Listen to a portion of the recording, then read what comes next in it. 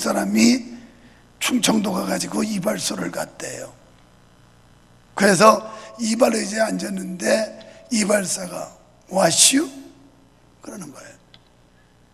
어, 그래서 이 외국 사람이, 야 영어를 곧잘하는구나. 그래가지고, 어? 와시오, 너뭐 보고 있냐? 그래서 자기가 의자 앉아서 거울을 보고 있길래, 미러, 그랬어요. 그랬더니 이발사가 그 외국인 머리를 그냥 바리깡으로 빡빡 밀어버렸대요. 그게 뭐 영어를 한 게 아닌데 사실 충청도 사람들은 그냥 인사하는 게 와시오 그러는데 적어도 이 정도 언어는 해야 돼요. 충청도는 보통 말도 영어예요. 그냥 와시오 뭐 이러면 아너 뭐, 뭐, 뭐 보고 있니? 그러니까 어, 나 지금 거울 보고 있다 밀으라 그랬더니만 알았어 밀게 그래가지고 이런 얘기해도 더럽게 붙지 않는 사람들은 영어를 못하거나 감정이 정서가 메말라 있거나 아니면 웃다가 조상이 망했거나 뭐한 서너 가지 중에 하나예요 나는 이 유머를 벌써 몇 주 전에 이게 설교해놓고 카메라는 가기 한참 전에 한 건데 너무 재밌는 거예요 이게 그래서 우리 집 사람 불러 여보 여보 이거 유머 진짜 재밌다. 그러고 한번 이거 리허설 한 거예요 우리 집에서. 우리 집 사람 반응이 어떻게 보이나. 그랬더니 우리 집 사람도 아 정말 웃기다 그러더라고. 그래서 아, 이 정도면 되겠다. 그래서 나는 오늘 그냥 아주 빵 터질 줄 알았어요. 그랬더니 의외예요 의외. 오늘부터 우리가 이사야서 말씀을 나누게 될 터인데 여러분 이사야 선지자가 활동하던 시대는 어떤 시대냐? 통일왕국이 갈라져 가지고 남북으로 쪼개졌어요. 로보암 여로보암 왕 때. 그래가지고 북쪽은 이스라엘 남쪽은 유다. 이래서 나라가 두 동강이 나요. 우리나라 남북한처럼. 그런데 북쪽 이스라엘이 먼저 망해요. 그래서 북쪽 이스라엘 우상 숭배하고 하나님 앞에 범죄하고 죄짓다가 먼저 망합니다. 망하는데 그때 아수르라고 하는 아주 강대국이 있었어요 이 아수르가 북쪽 이스라엘을 침략해서 망했고 그 여파로 인해서 남쪽 유다도 심각한 위협과 위기를 느낄 때 그때 이사야 선지자가 활동을 했던 겁니다. 근데 그때 이스라엘의 형편은 어땠느냐?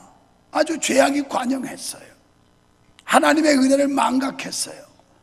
그리고 배은망덕했어요. 그래서 점점 죄악의 수렁으로 빠지는 바람에 하나님께서 그들을 심판하게 된 거죠. 이러한 위기 상황 중에도 유다 백성은 지도자를 위시하여 모든 백성에 이르기까지 심각한 죄악을 범하고 있었습니다. 이때 하나님께서 감동을 받은 선지자 이사야를 통해 이 유다의 비참한 현실을 심히 개탄하며 특히 지도자들의 위선적인 신앙의 모습을 엄중히 꾸짖고 있는 것입니다. 여러분 우리는 여기서 하나님의 뜻을 외면하고 타락과 죄악의 길로 나아갔던 이스라엘 민족의 현실을 보고 그들이 처참한 상황에 이르게 된 이유가 무엇인지를 살펴보면서 오늘 이 시대를 살아가는 우리에게 주시는 하나님의 교훈이 무엇인지 또 이 말씀을 통해서 우리는 어떻게 처신해야 될지를 깨달아야 된다는 것입니다. 자, 이들이 타락했는데 타락의 원인이 무엇이냐? 첫째는 하나님의 사랑을 외면했기 때문이라는 겁니다. 여러분, 이스라엘 민족은 하나님께서 특별히 사랑한 민족이었고, 하나님이 편애한 민족이었어요. 특별한 사랑을 해서 이들이 애굽에서 종살이할 때 그들을 출애굽 시켰고, 그리고 그들을 약속의 땅 가나안으로 들여보냈어요. 가나안이라고 하는 이 복지에 들어가서 이제 생활이 안정되고 삶이 정착되고 경제가 발전하고 이러기 시작하면서 이들이 하나님의 은혜에 대해서 감사하기보다는 자꾸 한눈을 팔기 시작해요. 발을 헛디디기 시작해요. 그래서 이들의 발은 점점 죄악의 소굴로 발을 딛기 시작하고 이들의 시선은 저 세상의 죄악 세상으로 관심을 빼앗기기 시작합니다. 그 이유는 하나님의 사랑의 결핍이 아니에요. 하나님이 그들을 사랑하지 않았기 때문이 아니라 순전히 이스라엘의 완악함과 이 교만함 때문에 결국 죄악에 떨어지게 된 겁니다. 그들은 하나님의 자상한 관심과 배려를 오히려 가장 거추장스러워했고 하나님의 간섭을 못마땅하게 여겼어요. 여러분도 혹시 신앙생활 하다가 내가 예수 믿은 걸 후회하는 적이 있을지 모르겠어요. 그리고 신앙생활이 힘들다 말하면서 아, 내가 왜 예수 믿어가지고 이런 제약과 제한, 그리고 간섭을 받아야 되는가 하고 여러분이 불평할 때가 있을지도 모르겠습니다. 지금 이스라엘은 하나님의 간섭이 싫다는 거예요. 그러나 하나님을 떠난 나라가 온전할까요? 하나님을 떠난 개인이 그가 행복할까요? 결코 그렇지 않습니다. 누가 보면 15장 6절 이하에 쭉 가서 보면 11절 이하에 가보면 거기에 당자의 비유 가운데 이 당자는 아버지의 잔소리가 싫었어요. 제도권이 싫었던 거죠. 그래서 제도권 바깥으로 나가기를 좋아했어요. 그러다가 아버지의 간섭이 미치지 않는 곳에 갔다가 쫄딱 망해요. 그래 완전히 거짓골이 돼서 비참한 신세가 돼서 돌아옵니다. 여러분 요즘 교인들도 이 제도권을 싫어하는 사람이 아주 많아요. 그래서 교회 등록도 하지 않아요. 등록해도 본체만 지하고 아예 교회 간섭을 싫어하는 사람들이 있어요. 여기 온 사람 말고 말이에요. 오늘 날 두고는데 뭐 굳이 갈 필요 있나 그러고 안 오는 사람 중에서. 너희 주보에 보면서 주보가 하도 꾀알만해서 볼 수가 없어요. 목장 통계를 보면 그래서 내려가 가지고 홈페이지를 열어보고 그래도 이게 뭐 화면에도 잘안 보여요. 우리 집사람 불러서 여보 여기 이 목장 지난주에 몇 명 모였는지 좀 보라고. 그랬더니 그 옆에 성경 점수 1500 얼마를 봐 그거 말고 그 가운데 있는 거. 그랬더니 1200 몇십 명이래요. 그래 그거 맞아?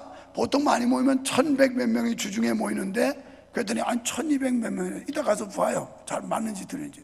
그러면 좀 올라간 거야 그래서 이 제도권 목장에서 서로 교제하고 성도의 아름다운 사랑을 나누고 말씀을 나누고 이러라고 제도를 만들어 놓는데 이게 싫다는 거죠. 왜 와라 가라 하느냐 이 말이에요. 그냥 적당히 신앙생활 하다가 갈 때 되면 가겠다는 건데 조금 더 들어봐요. 그래서 되겠나? 그래서는 안 돼요. 잔소리가 싫고 간섭이 싫고 다른 사람하고 접촉하는 게 싫고 그래서 그냥 어, 나홀로 신앙 독불 장문으로 일해 살려고 하는데 이건 좋은 게 아니에요. 이스라엘 백성들이 하나님이 그렇게 변해를 해서 특별한 은총을 주었건만 이들이 하나님의 간섭이 싫다는 거예요. 그래서 하나님의 간섭을 벗어내려고 합니다. 이스라엘은 교만하여 반역자가 되었습니다. 3절에서 말씀하기를 소는 그 임자를 알고 나귀는 주인의 구유를 아는데 이스라엘은 주인이신 하나님을 몰랐다는 거예요. 오늘 여러분이 여기 와서 예배하는 게 뭐예요? 우리의 주인 되신 Lord 우리의 주님은 주인이라는 거예요. 내 삶의 주인 되신 주님께 찬송과 예배를 통하여 영광을 돌리기 위해 그분을 높이기 위해서 우리가 주일마다 혹은 주중에 예배를 모이는 줄로 믿습니다. 주인을 높이는 거예요. 그런데 이스라엘은 주인 되신 하나님을 잊어버리기 시작해요. 아니, 이제 배신하기 시작해요. 그래서 소도 그 임자를 알고, 소도 알아요, 소. 여러분, 옛날에 우리 어릴 때 보면 미련한 사람을 아이고, 이 미련하기는 소같이 미련하다고. 그런데 그 미련한 소도 주인을 알아요. 어릴 때 그 내가 강, 어, 내가에다가 이렇게 소를 밧줄로 해서 풀뜯어 몰아 갖다 매면 저녁 때 끌러가요. 그러면 주인이 오면 얼마나 좋아하는지 몰라. 소가 막 꼬리를 치면서 막 이래요. 아니, 미련하다는 소도 주인을 안다는 거예요, 소도. 나귀도 주인의 구유를 안다는 거예요, 밥 먹는 구슬을. 그런데 어찌 하나님의 백성들이 하나님의 은혜를 모르냐는 오늘 우리가 하나님의 은혜를 모르기 때문에 감사할 줄도 모르고 헌신할 줄도 모르고 봉사할 줄도 모르고 사랑할 줄도 모르고 하나님의 은혜를 몰라서 하나님이 우리에게 주신 이 엄청난 은혜, 구원의 은총을 우리가 크게 깨닫는다면 하나님 앞에 감사할 수 있고 영광을 돌리게 될 줄 믿습니다. 그래서 이런 상태인 이스라엘 보고 하나님이 지금 탄식하고 계신 거예요. 오늘 이 시대를 사는 우리가 하나님의 은혜에 감사할 줄 모른다면 하나님도 탄식하신다는 겁니다. 여기서 거역했다는 단어가 나오는데 이 단어는 최고의 자리에 하나님 대신 자신이나 세상을 올려놓는 행위, 이게 거역했다는 거예요. 하나님이 우리에게 베풀으신 이 구원의 은총을 생각한다면 최고의 자리를 주님을 높여드리고 하나님을 높여드려야 되는데 그 자리에 인간들이 올라탄단 말이에요. 하나님의 영광을 인간들이 가로챈단 말이에요. 이스라엘이 그 따위로 했다는 거예요. 그 따위로. 하나님이 높임을 받으시고 주님이 높임을 받아야 되는데 이스라엘 백성들이 배은망덕하고 그 자리에 저들이 가르치고 자기들이 영광을 받으려고 하고 오늘 교회에서 여러분 우리가 구원받은 하나님의 자녀로서 하나님의 은혜에 감사하다면 모든 영광을 하나님께 돌리고 가장 높은 자리에 주님을 높여드려야 될 줄 믿습니다. 이게 바른 자세예요. 근데 인간들은 조금 뭐가 잘 되면 지가 올라가요 지가 자기가 곧 하나님이야 이게 문제 올시다 기고만장해가지고 하나님의 자리를 빼뜨리는 이 못된 짓을 인간들이 하는데 요즘도 마찬가지예요. 하나님 자리를 인간이 앉아 있어요. 여러분, 우리는 어떻습니까? 하나님께서 애국 같은 죄와 사망 가운데서 우리를 구원하사 하나님의 자녀의 지위와 천국을 주신 줄 믿습니다. 그러나 하나님을 섬기는 일과 하나님께 간섭받기 싫다 하여 죄악 가운데로 뛰쳐나가지는 않았습니까? 이스라엘은 선민으로서 그 어떤 민족보다도 하나님의 애정을, 하나님의 사랑을 받은 민족이었어요. 그리고 특권을 누리는 민족이었어요. 그러나 이제 그 모든 명예와 특권을 잃어버리는 지경에 이르렀습니다. 이사야 선자는 이런 현실을 가리켜 사절에서 범죄한 나라라고 그랬어요. 국가 전체가 부패했음이며 허물진 백성, 민족 전체가 죄에 눌려 있음을 말씀하고 있고 행악의 종자라는 말씀은 온 가족, 온 공동체의 죄성을 지적하는 말씀이며 행위가 부패한 자식이라고 그랬는데 그 삶이 완전히 부패한 채로 살아간다는 것입니다. 이는 총체적 타락을 의미하는 거예요. 총체적으로 국가, 개인 할 것 없이 막 가정 그냥 총체적으로 타락했다는 거예요. 6절에서 발바닥에서 머리까지 성한 곳이 없다라는 표현은 더 이상 치료가 불가능한 중환자처럼 되었다. 이런 말씀이에요. 회복 불가한 이런 상태. 성도 여러분, 이렇게 범죄하고 배역한 결과가 무엇입니까? 자식이 잘못하면 부모는 매를 들고 채찍을 대게 돼 있어요. 하나님께서는 이스라엘 백성들도 잘못할 때 채찍을 대셨어요. 매를 들었어요. 히브리 기자는 하나님의 징계가 없는 자는 사생아 버린 자라고 그랬어요. 제멋대로 잘못하는데도 악에 빠져 범죄하는데도 내버려두면 그건 하나님이 버린 자식이라는 거예요. 잘못하면 매를 따끔하게 맞아야 돼요. 맞아야 돼. 어떤 맨지는 몰라요. 질병에 멜지 또는 물질에 멜지 아니면 자녀를 통해 매를 때리지 그 회초리가 어떤 회초리인지는 모르지만 잘못하면 맞아야 된다는 거예요 잘못하면 잘못하면 맞아야 돼요 잘못하면 아, 나도 어릴 때 하여튼 잘못하면 우리 엄마한테 얼마나 종아리를 맞고 그 부죽갱이 가지고 때리는 쟤네가 아주 그냥 그, 그놈의 부죽갱이 아주 아주 그냥 분질러 버리면 또 갖다 만들어 놓고 아주 그랬어 부주갱가 뭔지는 알아요? 아궁이에 불뗄때 그거 불 이렇게 집어넣고 어, 어, 뗄감도 넣고 또 안 타면 훅 뒤집어서 바람도 훅 뒤집어놓고 이게 부주갱이야 부주갱이냐 그래서 하나님이 부주갱이를 때려. 바람도 넣고 뭐 이렇게 뒤집기도 하고.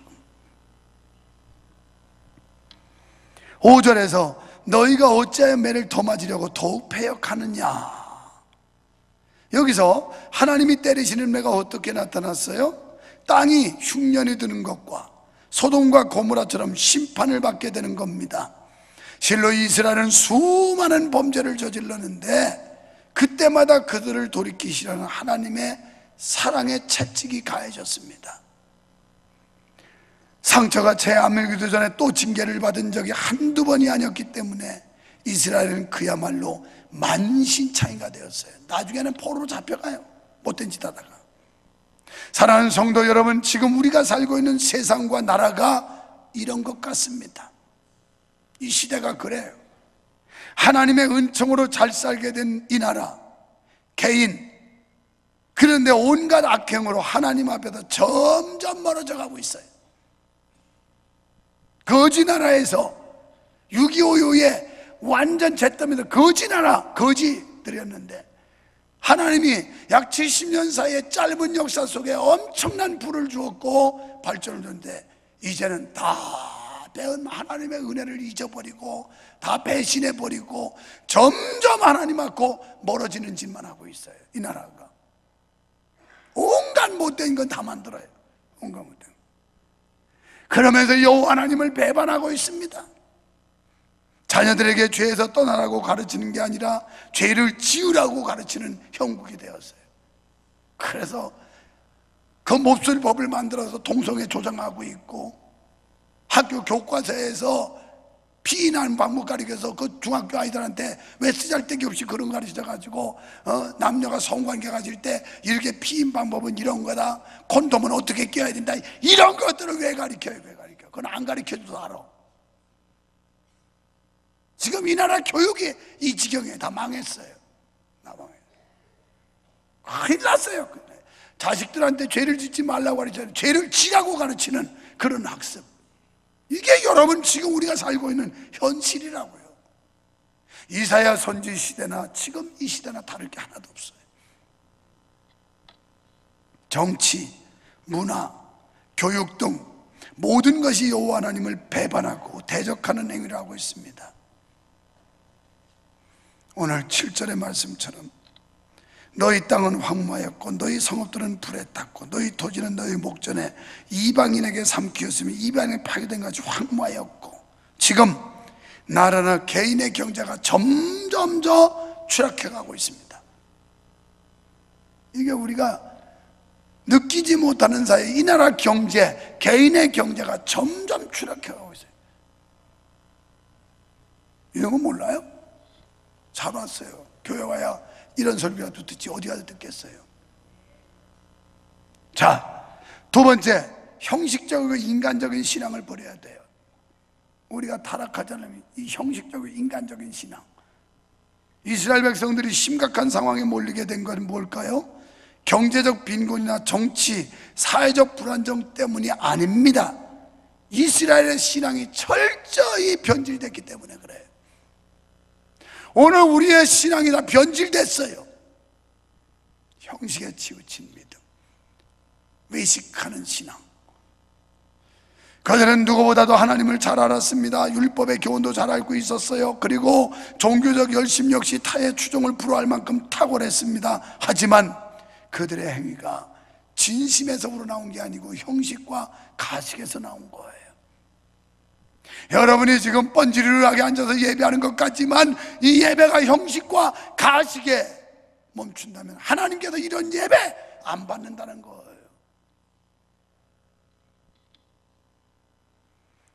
이스라엘은 신앙이 있다고 하면서도 형식주의에 사로잡혀 있었고 경건의 모양은 있었지만 능력은 부인하는 자들이었습니다.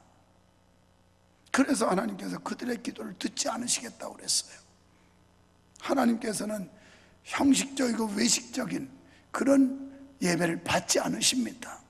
그러니까 진실이 없는 예배는 안 받으신다는 거예요. 그러므로 그들의 예배는 헛수고일 수밖에 없어요. 그냥 왔다 갔다 하는 헛수고예요. 그들이 절기를 지키고 재물을 많이 바쳐도 피 묻은 손으로 드린 더러운 것이기 때문에 하나님께서 받으실 수 없었습니다 하나님께서는 가난하셔서 재물을 받는 게 아닙니다. 하나님은 우리 마음을 받으시는 거예요. 여러분 예배 때 여러분의 심령의 옥합을 깨뜨리시기를 축원합니다. 하나님이 받으심직한 예배자가 되시기를 주의 이름으로 축원합니다. 11절에 보니까 무수한 재물을 드리지만 받지 않는다. 화려한 의식, 형식 그런 따위를 하나님이 원하지 않는다는 거예요.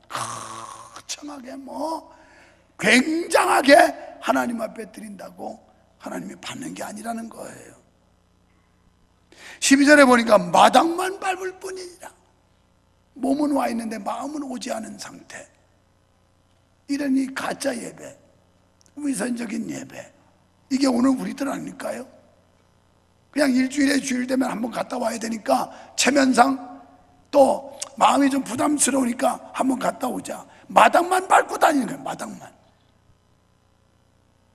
하나님께 예배자로 쓰는 게 아니라 교회 마당만 밟고 도달다니는 이런 교인들이 얼마나 많은지 몰라요. 이 안에 빼고 말이에요. 여기 있다 그러면 또 기분 나빠할 테니까. 그래도 있어요, 있어요.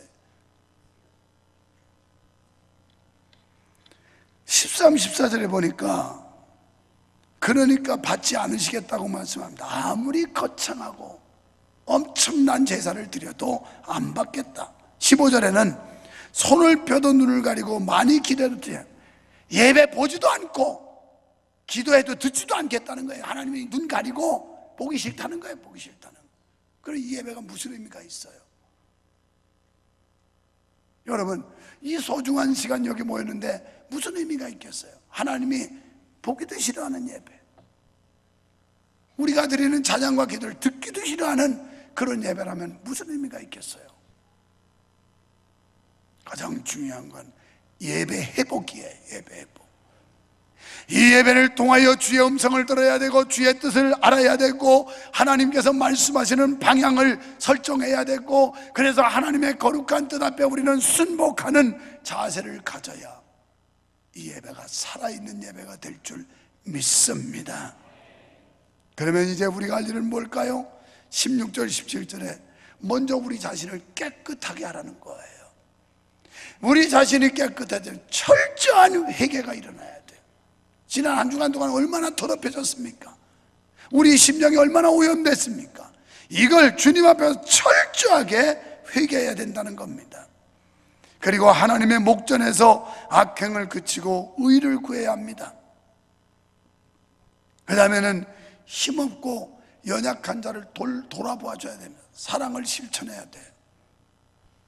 어저께 교육자회 회의하는데 뭐 특별히 부탁하더라고요. 연탄 배달하는데 사람들이 필요하다고. 그래서 아이 그까지가 청년들 동원해서 하라 그랬더니 그래도 워낙 여러 군데 가기 때문에 뭐 열 군데 하려는데 열두 군데인가 해서 모자라대요. 아니 왜 모자라느냐 그랬더니 뭐 한 팀에 한 스무 명씩은 가야 된대요. 그래서 장로님들은 이번 토요일 날 전국 장로 연합회 총회하는 데 가기 때문에 또 장로님들은 거의 참석을 못하고 뭐 어쩌고 그럼 나머지 안수집사 권사 뭐 이런 사람 하면 되지 않냐고 그랬더니 아 그래서 목사님이 힘줘서 말을 해야 된대. 내가 힘줘서 말하는 거예요. 연탄 날리라고.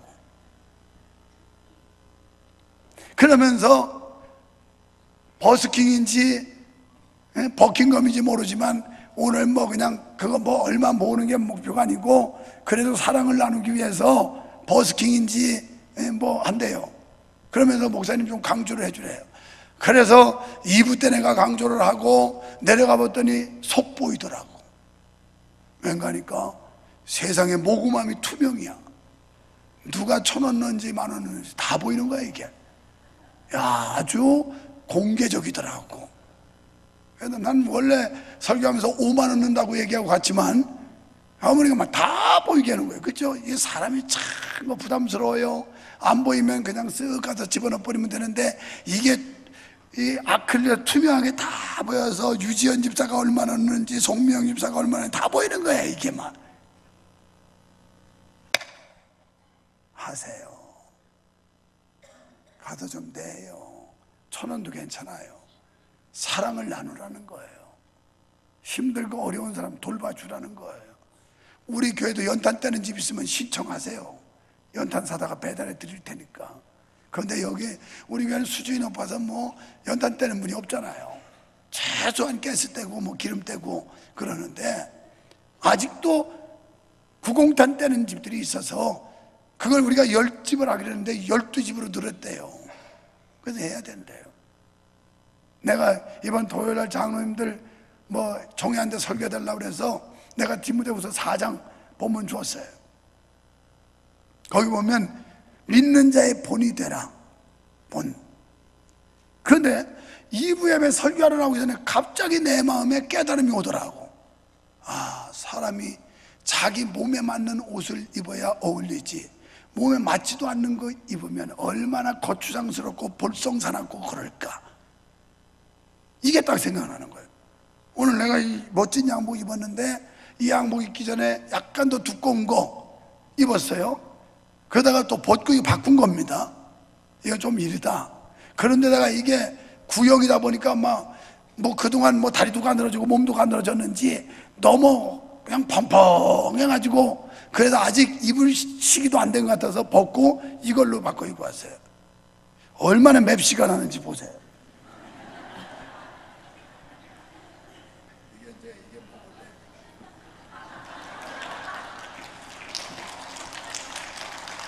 모델들 패션 모델들은 걷는 게 그렇게 이렇게 쫙 벌어 이렇게 걷는 거야.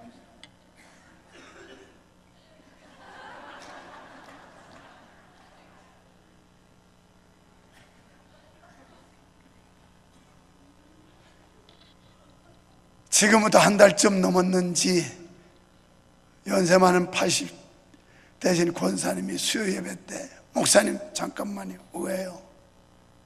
제가요 명성교회 온 지 10년이 됐는데요. 10년이 넘었다나 그런데 10년 될 때 목사님 양복 한번 해드리려고 그랬는데 못했는데 어, 목사님 이거 양복 한 벌 맞춰 입으시라고 그래요. 다른 분들도 가끔 주지만 그냥 현찰로 주면 내가 그냥 땡겨 써요.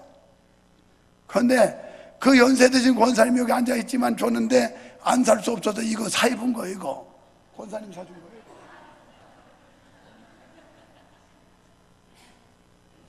그런데 목사는 자기 몸에 맞는 옷을 입고 맵시를 내는 것처럼 영적인 옷이 맞아야 된단 말이에요. 장로면 장로답게 거기에 맵시라는 옷을 입어야 된다는 거예요.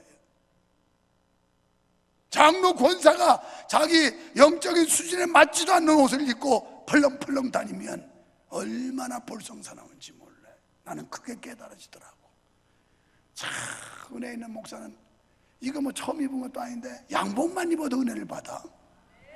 은혜 없는 인간들은 이렇게 파워풀한 설교를 듣고서도 무덤덤해가지고 그냥 눈이 까마까마해가지고 자꾸 그냥 병든 닭처럼 이래가지고 이러면 죽더라고. 내가 어릴 때 우리 집에서 양계를 많이 먹였는데 케이스라고 해서 한 마리씩 집어넣는 것도 칸칸이 있고 큰 닭장에 이것도 있는데 닭병이 들리면 회 타고 이래요.